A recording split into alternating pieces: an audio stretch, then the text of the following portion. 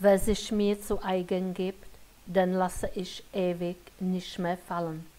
Doch wer im Widerstand gegen mich verharrt, der steht in großer Gefahr, meine liebe Kraft ganz entbehren zu müssen und in seiner Ursubstanz zu verhärten, ein überaus qualvoller Zustand, den ich verhüten möchte.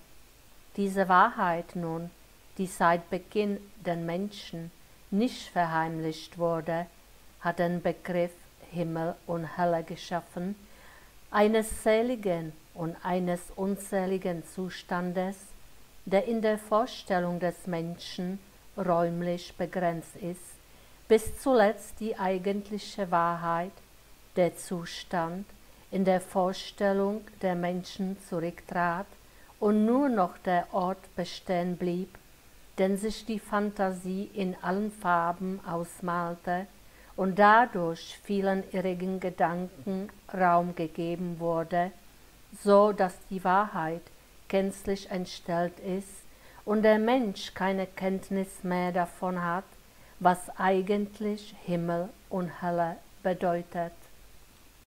Leben und Tod sind Himmel und Hölle emsige, beklickende Tätigkeit in strahlendenstem Licht ist Leben, Kraftlosigkeit, Ohnmacht und tiefste Dunkelheit ist Tod. Und jeder Zustand kann nach oben und nach unten ständig zunehmen, bis das höchste Ziel selige Verschmelzung mit mir oder der tiefste Absturz, endlos weite Entfernung von mir erreicht ist.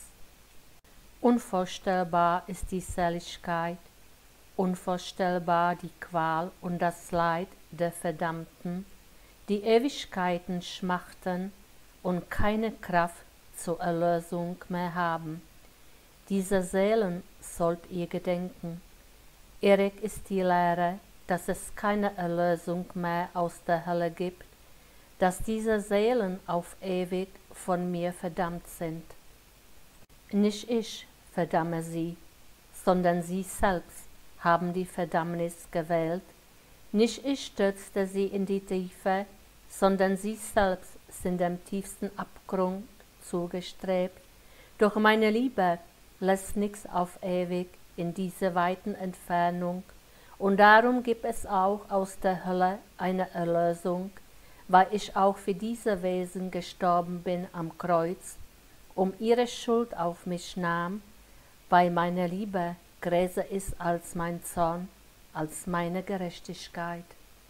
Auch die Hölle wird ihre letzten Opfer herausgeben müssen, das heißt auch die festeste Materie wird einmal aufgelöst werden, um das Geistige darin frei werden zum Zweck des Aufstieges zum Leben. Denn die Hölle, wie ihr Menschen sie euch vorstellt, besteht nicht als ein ewig brennender Feuerherd. Sie ist kein Ort, der die verdammten Berg, die Hölle ist ein Zustand, dessen Qualen nicht zu beschreiben sind, ein Zustand, der auf Erden damit beginnt, dass die Menschen mich nicht anerkennen, also sich lossagen von mir und ohne meine Liebekraft bleiben. Sie leben dann wohl noch das körperliche Leben ohne mich und empfinden den kraftlosen Zustand, den die Entfernung von mir mit sich bringt, noch nicht als Qual, doch so wie das Leibesleben zu Ende ist, setzen die Qualen ein, das Bewusstsein völlig ohne Kraft und doch zu sein. Es ist anfangs noch die Möglichkeit, im Jenseits den Widerstand aufzugeben, so die Seele den Vorstellungen wissender Wesen Gehör schenkt, doch selten nur werden diese Möglichkeiten ausgewertet und die Seele sinkt immer tiefer und die Entfernung von mir wird immer größer, die Kraftlosigkeit nimmt zu bis zur endlichen Verhärtung, zur Neubahnung in festeste Materie.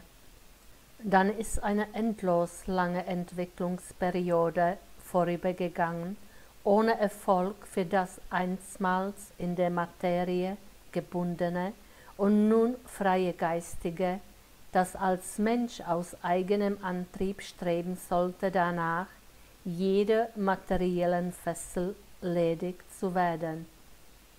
Dass es nun versagt hat, ist sein freier Wille, denn ich lasse es wahrlich nicht fehlen an direkten Mahnungen und Warnungen. Die Hölle hat aber weit größere Anziehungskraft als der Himmel, und es strebt der Mensch mit größtem Eifer doch wieder die Materie an, die die Seele längst überwunden hatte. Und sie ist nun auch sein Los, sie wird wieder die Hülle des Geistigen, das bei seiner letzten Willensprobe versagte. Die Hölle hat ihre Pforten weit geöffnet, und freiwillig gehen durch diese Pforte zahllose Seelen ein in die Finsternis. Die Hölle wird triumphieren, das heißt, ihr Fest hat zahlenmäßig großen Erfolg, jedoch ich entwinde ihm alle diese Seelen, die ich in der neuen Schöpfung wieder anzeuge und meinem Gegner jegliche Macht über diese Wesenheiten nehme, indem ich ihn gleichfalls binde mitten in die Erde. Die festeste Hülle wird ihm als Fessel gegeben, die er nicht ehe verlassen kann, bis durch Menschenwillen er wieder an die Macht kommt, indem die Menschen wieder materielle Güter begehren und sich von mir stets mehr und mehr entfernen. Dann kämpft er wieder um die Seelen, und dieser Kampf ist zugelassen, auf dass sich die Seelen bewähren und sich entscheiden für mich oder für ihn, weil ohne rechten Entscheid kein Mensch selig werden kann. Amen.